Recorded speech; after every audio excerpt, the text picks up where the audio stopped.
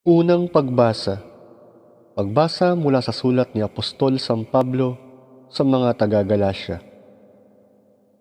Mga kapatid, nasusulat na si Abraham ay nagkaanak ng dalawang lalaki. Sa alipin, ang isa at ang isa'y sa malaya. Ang anak niya sa alipin ay ipinanganak ayon sa karaniwang pangyayari. Ngunit ang anak sa malaya ay bunga ng pangako ng Diyos. Ito ay isang talinghaga, larawan ng dalawang tipan. Ang dalawang babae. Ang isa'y ang tipan sa bundok ng Sinai at kinakatawan ni Agar at ng kanyang mga anak na pawang alipin. Ngunit ang Jerusalem na nasa langit ay malaya at siya ang ating ina.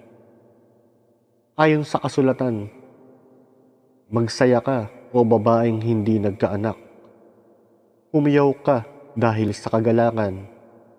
Ikaw na di nakaranas ng pagdaramdam sa panganganak sapagkat higit na marami ang anak ng babaeng nangungulila kaysa babaeng may asawa. Kaya nga mga kapatid, hindi tayo anak ng alipin, kundi ng malaya Pinalaya tayo ni Kristo upang manatiling malaya.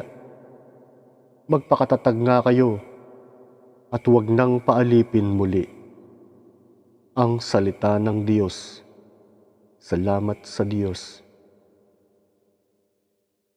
Salmong Tugunan Ngalan ng Diyos ay idangal, ngayon at magpakailanman.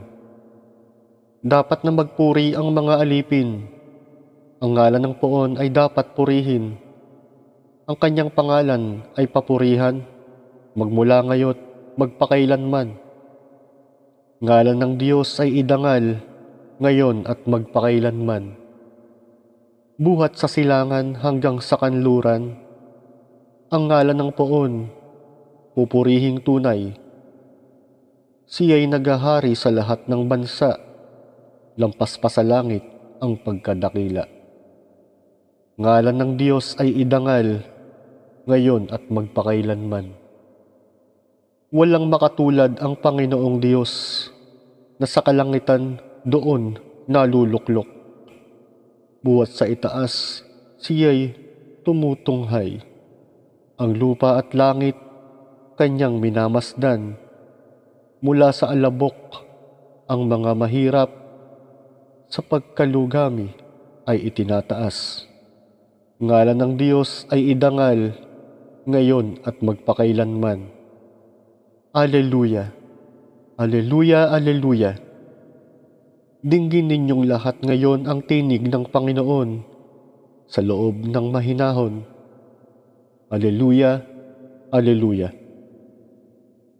Ang mabuting balita ng Panginoon ayon kay San Lucas. Noong panahong iyon, Samantalang dumaragsa ang mga tao, sinabi ni Jesus, Napakasama ng lahing ito. Naghahanap sila ng palatandaan mula sa langit. Subalit walang ipapakita sa kanila maliban sa palatandaang inilalarawan ng nangyari kay Jonas. Kung paanong naging isang palatandaan si Jonas sa mga taga Ninive Gayon din naman, magiging isang palatandaan sa lahing ito, ang anak ng tao. Sa araw ng paghuhukom, titindig ang reyna ng timog laban sa lahing ito at sila'y hahatulan niya ng kaparusahan sapagkat nanggaling siya sa dulo ng daigdig upang pakinggan ang karunungan ni Solomon. Ngunit higit na dihamak kay Solomon ang naririto. Sa araw ng paghuhukom ay titindig ang mga taga Ninive laban sa lahing ito at hahatulan ng kaparusahan sapagkat nagsisi sila dahil sa pangangaral ni Jonas. Ngunit higit na dihamak kay Jonas ang naririto ang mabuting balita ng Panginoon. Pinupuri ka namin, Panginoong Heso Kristo. First reading A reading from the letter of St. Paul to the Galatians. For it is written that Abraham had two sons, the one by a bondwoman and the other by a free woman. But he who was of the bondwoman was according to the flesh, but he of the free woman was by promise. Which things are said by an allegory?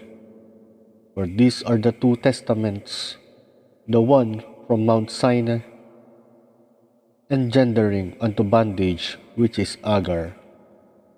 But that Jerusalem, which is above, is free, which is our mother. For it is written, Rejoice, thou barren that bearest not, break forth and cry, thou that travellest not, for many are the children of the desolate, more than of her that had a husband. So then, brethren, we are not the children of the bondwoman, but of the free, by the freedom wherewith Christ has made us free. Stand fast and be not held again under the yoke of bondage. The word of the Lord. Thanks be to God. Responsorial Psalms Blessed be the name of the Lord forever. Praise the Lord, ye children. Praise ye the name of the Lord. Blessed be the name of the Lord from henceforth, now and forever. Blessed be the name of the Lord forever. From the rising of the sun unto the going down of the same, the name of the Lord is worthy of praise.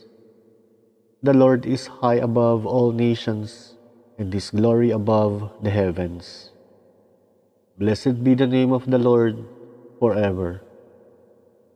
Who is as the Lord our God, who dwelt on high, and looked down on the low things in heaven and in earth, raising up the needy from the earth, and lifting up the poor out of the dunghill.